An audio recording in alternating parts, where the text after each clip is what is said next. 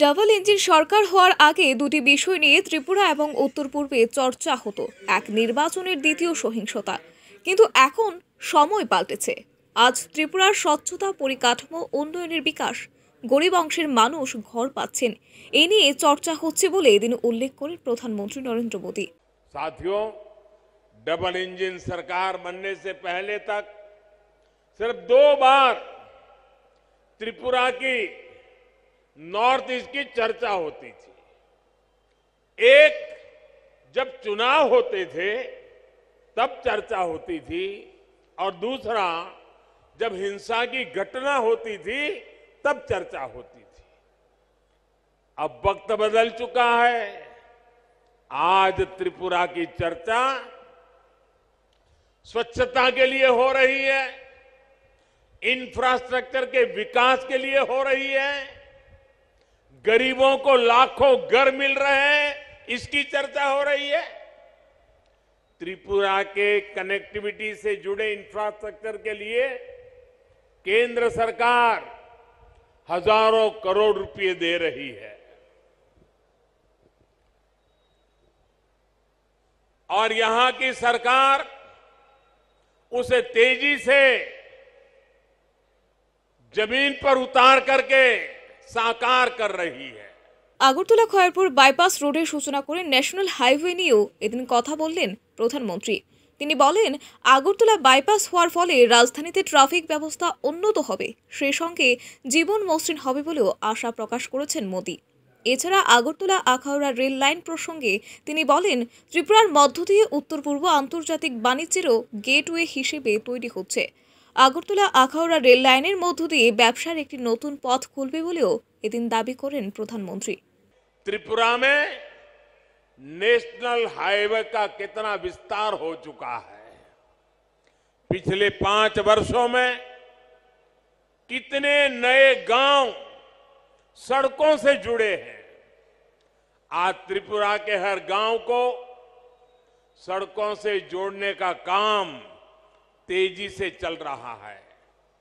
आज भी जिन सड़कों का शिलान्यास हुआ है, उससे त्रिपुरा का सड़क नेटवर्क और सशक्त होने वाला है।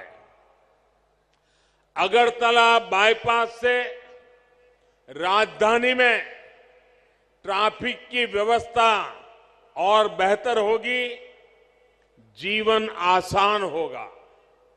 साथियों, अब तो त्रिपुरा के ज़रिए नॉर्थ ईस्ट इंटरनेशनल ट्रेड का भी एक गेटवे बन रहा है। अगरतला, अखौरा रेलवे लाइन से व्यापार का नया रास्ता खुलेगा। इसी तरह भारत, थाईलैंड, म्यांमार हाईवे जैसे रोड इंफ्रास्ट्रक्चर के जरिए नॉर्थ ईस्ट दूसरे देशों के साथ संबंधों का द्वार भी बन रहा है মহারাজা বীর বিক্রম বিমানবন্দরে আন্তর্জাতিক টার্মিনাল তৈরি হওয়ার ফলে দেশ বিদেশের সঙ্গে সংযোগ স্থাপনও আরও সহজ হয়েছে এর জেরে ত্রিপুরা উত্তর পূর্বের জন্য গুরুত্বপূর্ণ লজিস্টিক হাব হিসেবে বিকশিত হচ্ছে বলে এদিন জনসভায় বললেন প্রধানমন্ত্রী এখন বলাই যায় লজিস্টিক হাব গড়া এখন শুধুই সময়ের অপেক্ষা অন্যদিকে ত্রিপুরার ইন্টারনেট নিয়ে এদিন বললেন মোদী তিনি এদিন বলেন ত্রিপুরার ইন্টারনেট নিয়ে যে পরিশ্রম করেছে এর লাভ ত্রিপুরার যুবরা এখন পাচ্ছেন বলেও এদিন জনসভায় বললেন প্রধানমন্ত্রী নরেন্দ্র মোদী अगरतला में महाराजा वीर विक्रम एयरपोर्ट पर भी इंटरनेशनल टर्मिनल बनने से देश विदेश के लिए कनेक्टिविटी आसान हुई है। इससे त्रिपुरा नॉर्थ ईस्ट के लिए महत्वपूर्ण लॉजिस्टिक्स हब के रूप में विकसित हो रहा है।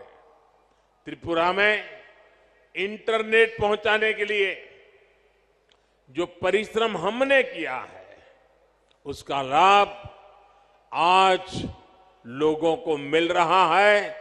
विशेषकर मेरे नौजवानों को मिल रहा है डबल इंजन सरकार बनने के बाद त्रिपुरा की अनेक पंचायतों तक ऑप्टिकल फाइबर पहुंचा है ত্রিপুরায় এসে এক ঝাঁক প্রকল্পের ভিত্তিপ্রস্তর স্থাপনের সূচনা করেছেন প্রধানমন্ত্রী তাতে উপকৃত হয়েছেন লাখো মানুষ প্রধানমন্ত্রীর ভাষণের পর নিশ্চিত ত্রিপুরায় লজিস্টিক হাবের মতো এমন নানান উন্নয়ন শুধুই সময়ের অপেক্ষা মাত্র।